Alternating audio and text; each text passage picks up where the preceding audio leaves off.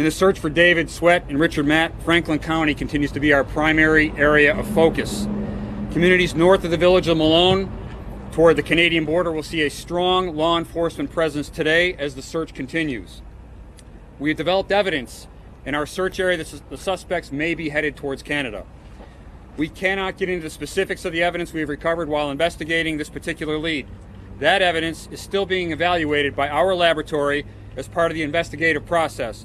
But based on what we know at this point, we have a high degree of confidence in our conclusion.